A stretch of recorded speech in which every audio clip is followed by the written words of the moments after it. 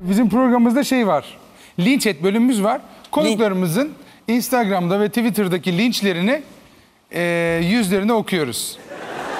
Gel linç et bölümünde bakalım e, hangi yorumlar almışız. Ver abi ilk yorumu. Köprücük kemiği değil bayağı köprü demiş. Şuradaki şeyleri. Evet şuradaki kemiklerim biraz köprü. Evet köprülü. Evet Köprülü. bayağı. Genel- Kas değil değil mi onlar? Ke- Kemikli- kemik bayağı. ya. Yani şurası köprücük kemiği de şurada gördün şöyle elim böyle yaptığın zaman o ka- biraz kaslı. Bir de hiç yağ olmadığı için anatomi tamamen ortaya çıkıyor genelde. E, Yani normal bir görüntü değil onu kabul ediyorum çok zayıf olduğum için.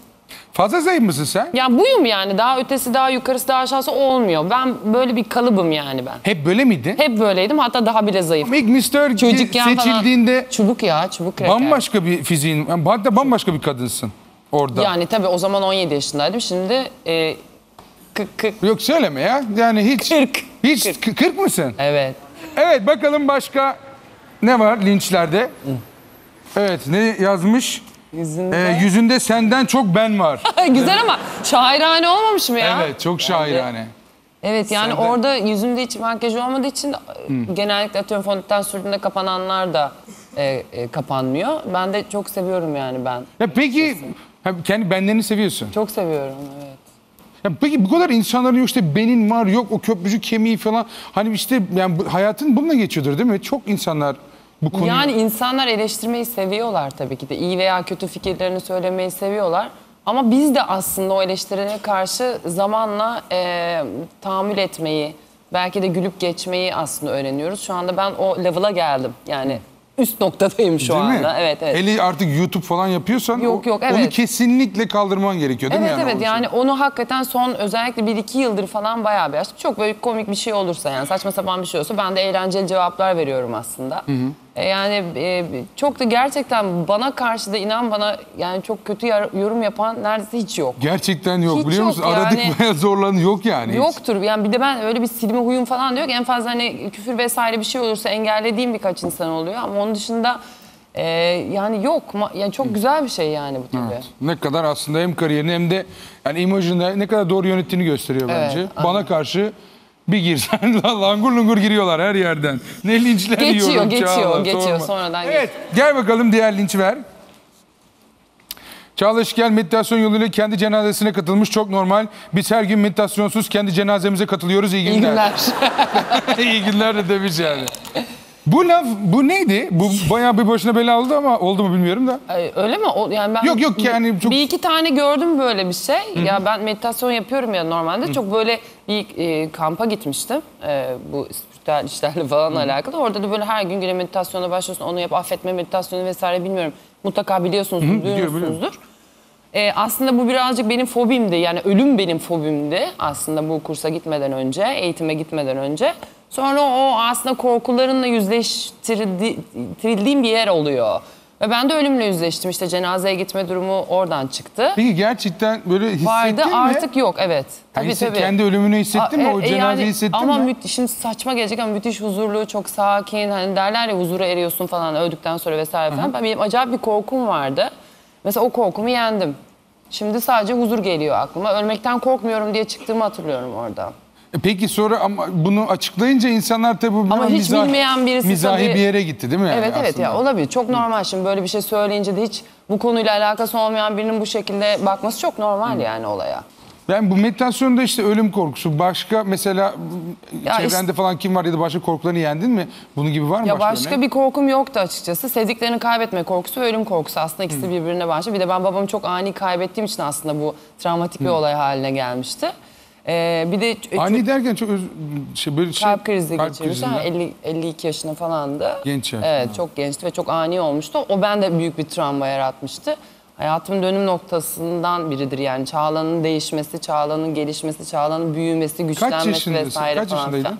İşte 8 sene oldu. 8 sene. Ha. Evet. Yani ben ben de babamı 6 yaşında kaybettim.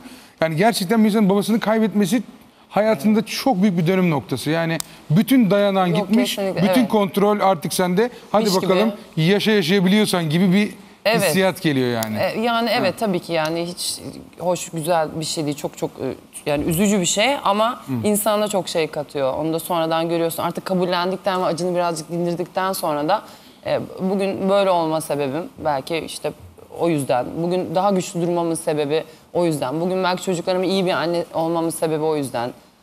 Her şeyin bir sebebi Her şeyin var bir yani. sebebi var. Evet devam edelim. Çağla Şikel hala gizli gizli MSN falan kullanıyor galiba. Instagram kullanıcı adı Çakobel78. Çakobel ne Allah aşkına? So 2011 çok yaratıcısın Çak. SO yani 2011 çok yaratıcısın Çak. Ya Çakobel Karamel diyorlardı bana arkadaşlarım. Ben Instagram'a kapalı olarak girmiştim. Çok Çakobel ne? Çakobel. Çakobel Karamel diyorlardı. Yani Çağla'dan Çakobel bir kız arkadaşım Ha, yok böyle bir, söylüyordu. bir püsküvi adı falan mı Hiçbir değil? şey yok Ha, değil, hiç yok, bir- değil. ha. Yani tamamen öylesine Çakobel diye ben. Ben niye püsküvi düşündüysem direkt. ve ve Hayır hayır. Ben- Hayır direkt yiyilecek şey evet oraya gitmişler. yani o tamamen öyle arkadaşlarım bana söylediği bir Çakobel var, e, ha, nickti tamam. Çakobel. 79, 78 değil 79. Ama sonradan işte daha yeni Çağla Şikel'de yaptım. Değiştirdin değil mi? Bu değil artık. Yeni yeni bir ay falan olmadı yani. Devam edelim. Çağla Şikel ve fırın sütlaç benzerliği. ya bunu görmedim çok güzel. Ya, Gerçekten fırın sütlaca çok benziyorsun. Resmen bir de o dönemlerde e, tam böyle yaz ortası olduğu için inanılmaz yanığız falan. Bana hatta diyorlar ki Çağla teninin rengini mi açtırdın? Hayır artık güneşin zararlarından daha iyi bildiğim için uzak duruyorum. O dönemler inanılmaz yanıyorduk. İşte Cennet Mahallesi dönemlerde. iyi gidiyordu o zaman e, tabii roman oynadığımız için oluyordu yani o zaman. Ama tabii normal ekran yanık yüz pek sevmiyor. Pek sevmiyorum ama Sevmez. se- senin ama daha da şeyi var mesela. Bir, bir sonrakini ver. Bir sonraki şeyi. Güneş mi yuttun demiş biri mesela. Bu, Bu nasıl, yanma ya? Ya birazcık oradaki fotoğraftan öyle aslında. Yani yine yaz, e, yazın sonuna doğru gittiğimiz bir New York'taki bir defileydi bu. Yine hafif yanığım ama aslında e, birazcık da şeyden, ışıktan kaynaklanıyor. Evet evet.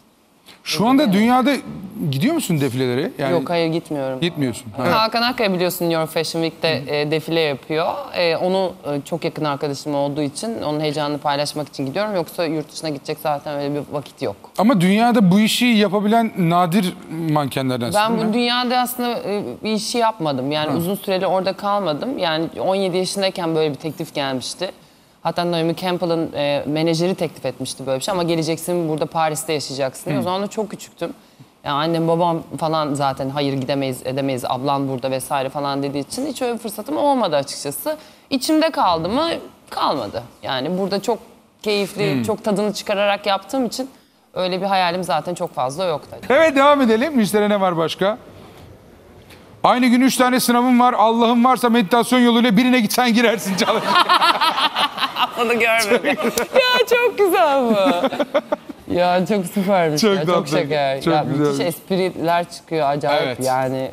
Yani şu an aslında zaten bu böyle bir program yapmanın da zorlu burada. Yani mutlaka internetten beslenmek zorundasın. Tabii ki. Yani şu an yani e, mizah konusu artık internete emanet. Yani Evet, orada e, acayip şeyler var gerçekten. Ver bakalım başka linçlerde. Hoşlanılan kişiyle ayarı tutturamayıp yanlışlıkla Alişan Çağla Şikel ikilisi gibi olmak. Güzel.